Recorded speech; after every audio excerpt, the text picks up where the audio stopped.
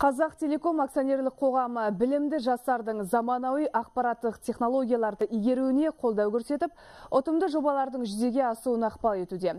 Бүгін Алматыдағы халықаралық ақпараттық технологиялар университетінде хакатон байқауының жеңімпаздары анықталды.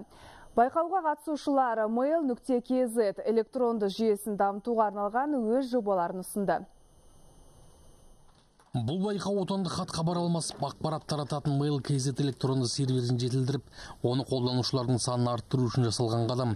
Қазіргі таңда mail kz сервердің қолданушылар саны 1 миллион адамға жетіп қалған.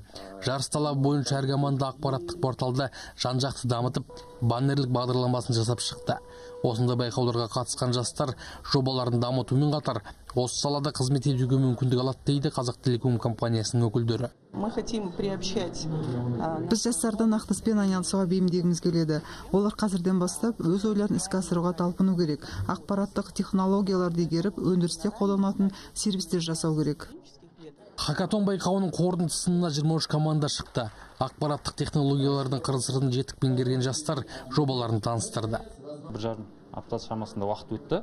Сол уақыт ішінде қолымыздан келгенше істедік ә, дизайн ә, суретін салдық оны жасадық функциональность жасадық түгелдей. Ә, енді құдай қаласа осы қазақ телекомның осы қазақстанның ең әйгілі деген компаниясының берген мүмкіндігіне көп рахмет айтамын байқау қорытындысы бойынша төрт команда үздік деп танылып әрқайсысына қазақ телеком компаниясы атынан қаржылай сыйлық жасалды. Шара соңында компания өкілдеріне университеттегі заманауи техникалар мен ақпараттық құралдар таныстырылды. Алмас садуақас жамраев хабар 24 алматы.